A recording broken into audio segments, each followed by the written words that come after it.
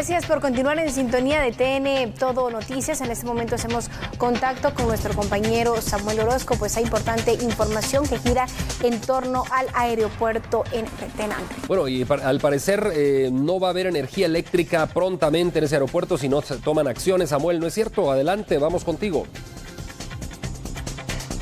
Bueno, y efectivamente nosotros nos hemos trasladado hacia la Dirección General de Aeronáutica Civil a un costado del Aeropuerto Internacional Aurora. Luego de conocer eh, pues que también en horas de la mañana se habría hablado ya sobre el tema de posible peligro de un corte de energía eléctrica en Mundo Maya y hablamos también de Taluleu y otros datos más eh, precisos, los cuales eh, pues decidimos hablar con el licenciado Conrado Monroy, quien amablemente pues nos ha atendido hasta ahora, la voz oficial de Aeronáutica Civil, porque pues eh, esto de, hacerse un corte como este, pues, estaríamos hablando de un cese de operaciones eh, bastante fuerte, tomando en cuenta el tránsito aéreo que hay aquí en Guatemala.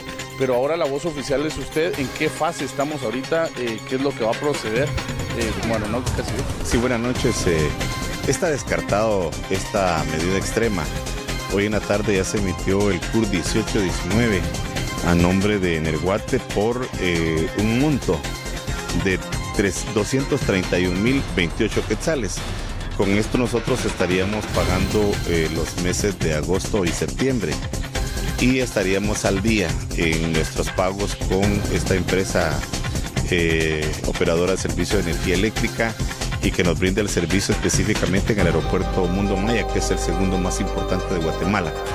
Ya hemos enviado notificación de estas acciones administrativas a, a Energuate y estamos seguros que ellos sabrán, esperar que estamos a tiempo para poder eh, pagar antes del 31 de octubre. Entonces quiere decir que aunque ya esté el CUR, que usted nos va a dar a conocer qué significa el CUR, ¿esto cuándo podría hacer un desembolso?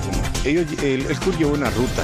Ahorita eh, Aeronáutica ha notificado a Finanzas que le debite de, su cuenta, de, de, sus recursos que tiene asignado Aeronáutica para que le pague a, a, Energuate. Luego Finanzas traslada ese dinero al Banco Guatemala y por último el Banco Guatemala sitúa el dinero a la cuenta, a, la cuenta bancaria que Energuate tiene registrada con el Estado como proveedor de servicios del Estado. Entonces este es un trámite que llevará, si mucho, alrededor de mañana y el lunes de la próxima semana. Por eso les decía yo que cualquier problema, cualquier peligro de suspensión de servicio está descartado totalmente. Quiere decir entonces, y para ir terminando, licenciado Monroy, eh, de no haberse pagado, pues de plano hay medidas eh, que se toman por parte del ente que presta este servicio.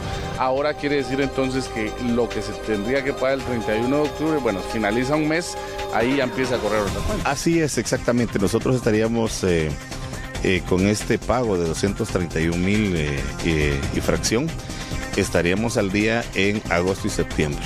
Eh, ya lo de octubre pues ya será eh, proceso de otro trámite administrativo y esperamos eh, poder tener la buena relación que tenemos con el Guate y hasta agradecer también la diligencia de ellos de esperarnos para, para que se concluyan estos trámites administrativos y en ningún momento ellos han cortado el servicio de energía eléctrica. Siempre hemos cumplido y ellos están conscientes de esta situación y como le digo, ya les notificamos, les enviamos la copia de los documentos para que estén eh, seguros de que a más tardar el lunes de la próxima semana o martes, en un caso extremo, ya esté finiquitada esta deuda con ellos.